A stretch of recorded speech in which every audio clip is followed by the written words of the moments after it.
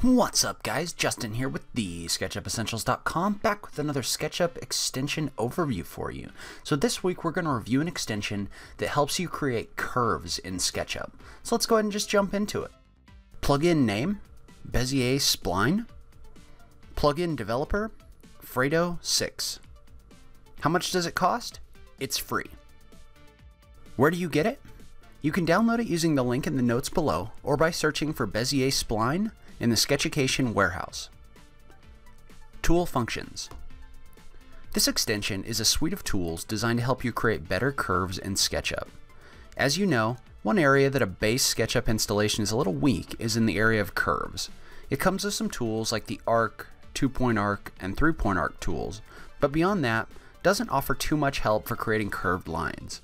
This extension by author Fredo6 is a collection of many tools designed to help you create better curves.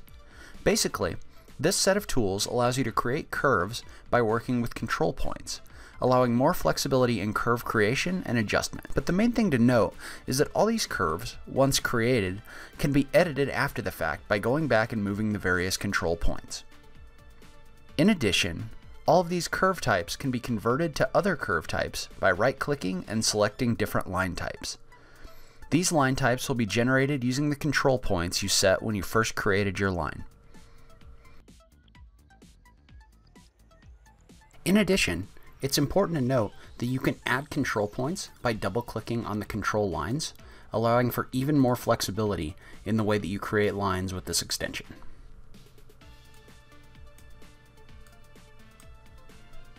Finally, one of the best features of this extension is that you can come back into lines that have already been created and edit them using the control points you'd created before. So you can create a line, right click, select Edit, and then edit that line as long as it was created with the Bezier Spline extension. When coupled with other modeling techniques, this extension allows for a lot of interesting ideas for new shapes that you can create using curves in SketchUp. Tomorrow, make sure you tune in for a tutorial on how to use this extension along with a couple others to create this shape. That's where we're going to wrap up this extension overview. Leave a comment below and let me know what you thought. Have you struggled with creating curves in SketchUp? I just love having that SketchUp conversation with you guys. Uh, if you like this video, please remember to click that like button down below. If you're new around here, remember to click that subscribe button for new SketchUp content every week.